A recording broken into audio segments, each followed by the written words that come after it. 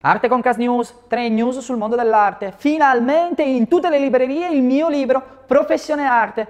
Francis Bacon manda i matti, lo dice una ricerca scientifica.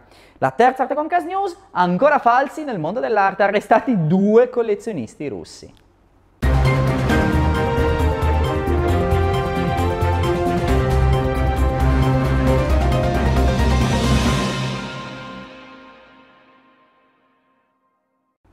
Iniziamo subito. 28 gennaio 2020, finalmente ci siamo. Domani esce in tutte le librerie il mio terzo libro, Professione Arte. La prima guida per chi dell'arte vuole fare la sua professione. E anche questa volta faccio un tour in tutta Italia per presentare il libro. E sì, anche nel 2020 andrò in oltre 10 città italiane per presentare Professione Arte, la guida per esplorare l'intero sistema dell'arte, perché per essere un artista, collezionista o professionista di successo è fondamentale conoscere i protagonisti e le dinamiche che regolano questo mercato.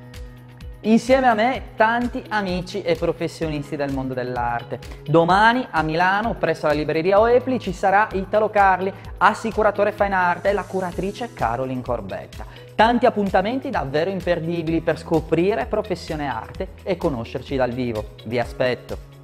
Seconda arte Concas News, che le straordinarie opere di Francis Bacon siano di grande impatto non c'è dubbio, ma che addirittura la neuroscienza dimostri che provocano uno shock in chi le osserva è ancora più interessante.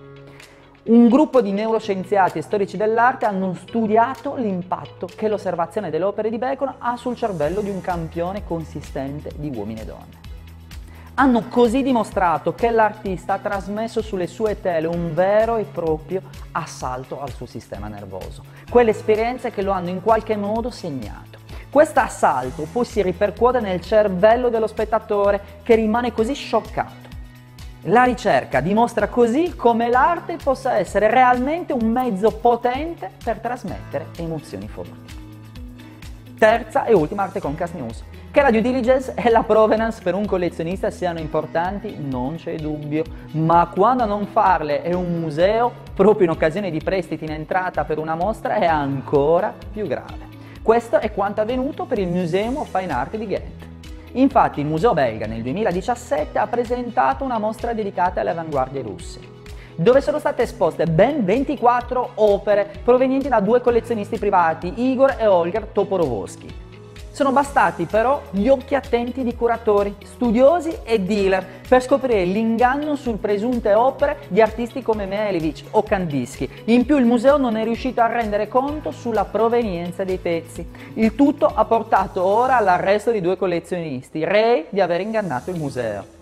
Da Arte Concas News è tutto, vi aspetto domani a Milano per la presentazione del libro. A voi un'ottima e grande settimana d'arte.